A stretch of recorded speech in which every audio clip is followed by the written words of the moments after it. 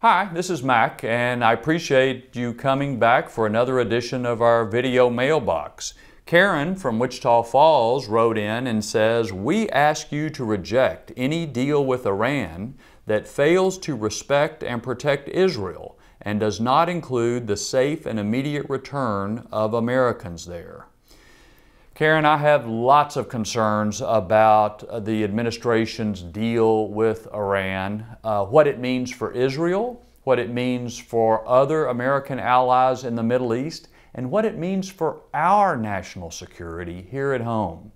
I've had a hearing on this uh, recently in the Armed Services Committee. We've had a number of classified briefings and meetings, and we're going to have more. Congress is scheduled to vote on this agreement sometime around mid September. I think the concerns that I have and a lot of people have can be grouped kind of into three different areas. One area is verification and enforcement. We know Iran has always cheated on commitments that they have made. What makes us think they're going to follow through on this one? And particularly concerning to me are recent news reports that show that the administration's claims that Syria, they negotiated all chemical weapons out of Syria are just not true.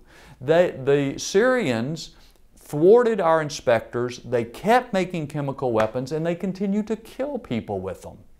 So if that happened in Syria, when we're looking at a country that is more sophisticated, even bigger, uh, and have learned those lessons like Iran has, what makes us think we're going to be able to verify Iran is really keeping their end of the bargain? A second area is even if Iran keeps it perfectly, is this a good deal? And I think there's a lot of questions about whether allowing them to have upwards of $100 billion more money, plus whatever they can make by selling their oil on the market, is a good exchange for another nine months uh, delay in their nuclear program. I'm not sure it's a good deal, even if they follow it exactly.